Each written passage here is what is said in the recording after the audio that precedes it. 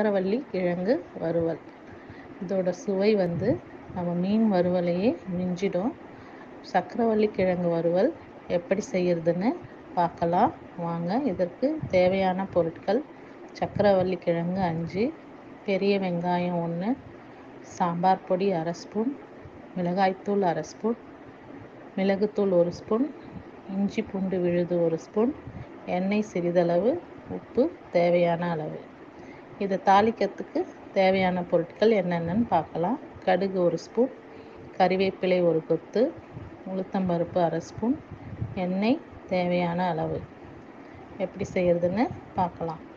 முதல்ல சக்கரவள்ளி கிழங்க தண்ணியில் நல்லா கழுவிட்டு அடுப்பில் ஒரு குக்கரை வச்சு அதில் தண்ணி ஊற்றி நம்ம கழுவினா சக்கரவள்ளி கிழங்க போட்டு குக்கரை மூடி ஒரு ரெண்டு விசில் வர வரைக்கும் வேக வச்சுக்கணும்.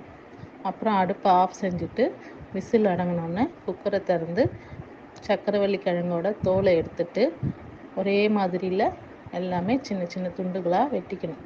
அடுப்பில் கடாயை வச்சு கொஞ்சம் எண்ணெய் ஊற்றி அது காஞ்ச உடனே கடுகு உளுத்தம்பருப்பு கறிவேப்பிலை ஆகியவற்றை போட்டு தாளிக்கணும். பின் வெங்காயம் சேர்த்து வெங்காயம் பொன்னிறமாக மாறும் வரைக்கும் வதக்கிட்டு அது கூட இஞ்சி பூண்டு பேஸ்ட் சேர்க்கணும். அதோட பச்சை வாசனை போனவுடனே இப்போ வேக வச்சு நம்ம வெட்டி வச்சுருக்கோம் இல்லைங்களா? சக்கரவள்ளி கிழங்கு. அதை போட்டு வதக்கிட்டு அது கூட சாம்பார் பொடி மிளகாய்த்தூள் மிளகுத்தூள் உப்பு சேர்த்து கொஞ்சமாக தண்ணி தெளித்து நல்லா கிளறி விட்டுக்கணும். அந்த சக்கரவள்ளி கிழங்குல அந்த மசாலா போய் ஒன்றோட ஒன்று ஒட்டி நல்லா கலந்து நல்ல வாசனை வர வரைக்கும் கலந்து விட்டுக்கிட்டே இருங்க. அதுக்கப்புறம் நல்லா செவந்து அப்படியே கிறிஸ்பியாக வரும். அதுக்கப்புறமா அடுப்புலேருந்து இறக்கணுன்னா சக்கரவள்ளி கிழங்கு வறுவல் ரெடி.